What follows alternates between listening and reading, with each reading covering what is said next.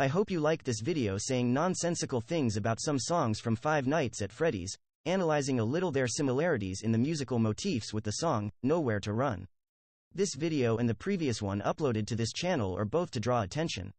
Attention from more experienced content creators about this topic and possible musical relationships that have never been touched on in this franchise. It would be appreciated if you would share and like. Remember, I'm not an English native speaker, so I may make misspellings.